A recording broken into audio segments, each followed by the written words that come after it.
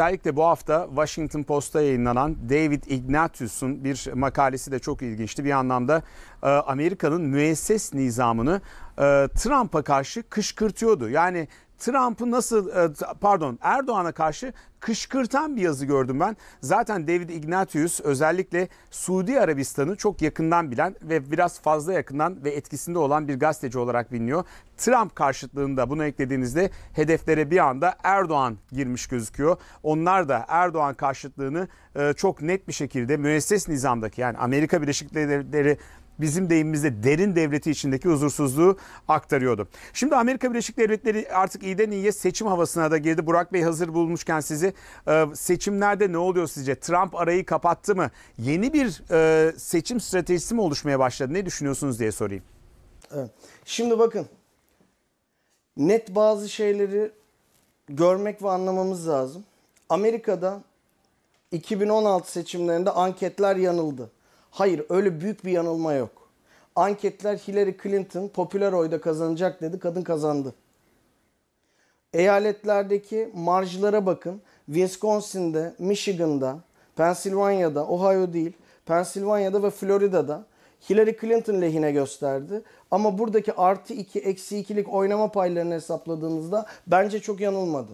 Yani hata payının içerisinde kalan şekilde Trump alabileceklerinin en iyisini alıp istatistiksel olarak neredeyse %20'nin üstünde olmayan şansını hayata geçirdi ve aldı. Bu kadar. Şimdi soru neydi? Farkı kapatıyor mu Trump? Biden'ın açtığı farkı. Tersten de bakabiliriz. Trump aslında yenik başladığı başkanlık sürecine ekonomiyi düzelterek çok ciddi bir şekilde ivme yakaladı.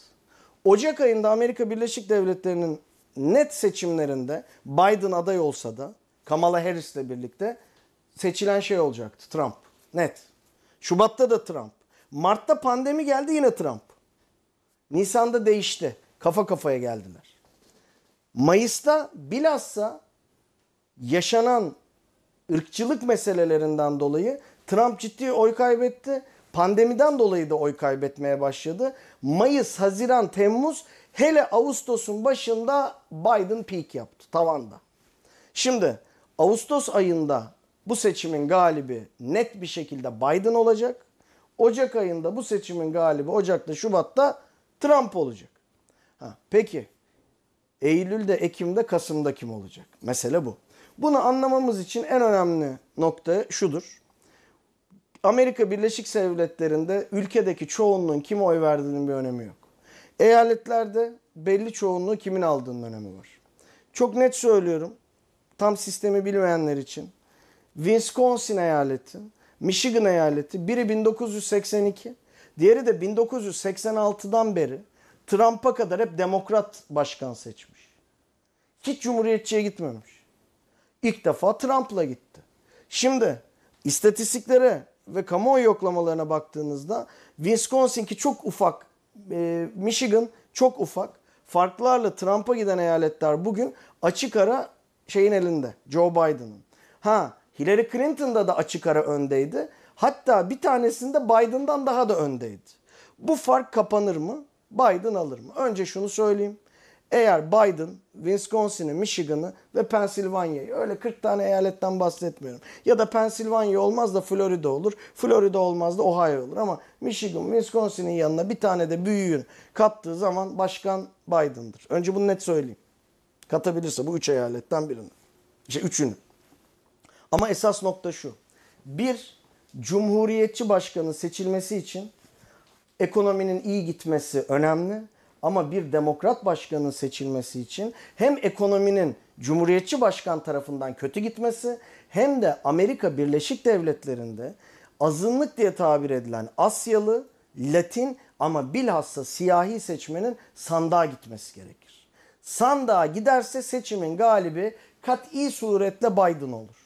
Çünkü Hillary Clinton seçimi %80'lerle 90'larla katılım olan bir seçim kaybetmedi. Amerika'da hiçbir zaman böyle bir katılım oranı yok. O yüzden bu işin aslında şifresi şu.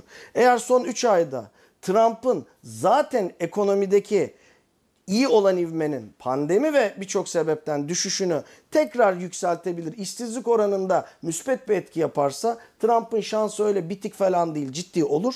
Ama Biden bir şekilde siyahi seçmen başta azınlıkları sahaya çekmeyi başarırsa onun da en büyük kozu o olur. Yani şu an ikisi içinde o aldı bu aldı demek sadece tahminden ya da bir e, varsayımdan öteye gitmez. Evet Burak Bey çok teşekkür ederim. Sevgili seyirciler birazdan Amerika'da Washington'a ve New York'a gideceğiz ama önce bir Atina'da duralım.